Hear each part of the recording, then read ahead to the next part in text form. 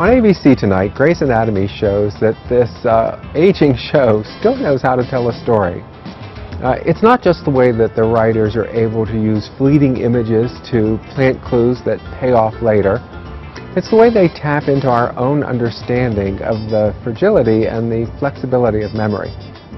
Oh, and Derek and Meredith are nicer this week. And it always helps to enjoy this show if you can like the main couple. Well, I am done. I'm done feeling guilty, and I am done measuring my accomplishments against yours. I won't do it anymore. Just stay out of my way. Wow. You sound just like your mother. Uh, still, this must be bad parent week at the Shonda Rhimes shows because as Meredith's mother uh, takes part in Grey's Anatomy in flashbacks, uh, Olivia's father